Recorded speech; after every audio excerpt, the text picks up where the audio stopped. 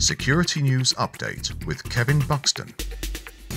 A state-of-the-art keyless portable alarm system that requires no mains power and reports break-ins via the internet is helping to reduce headaches for organisations that manage vacant properties. Specifically designed for use on empty commercial or residential properties where no mains power or telephone line is present. The revolutionary solo alarm provides real-time reporting of all security incidents.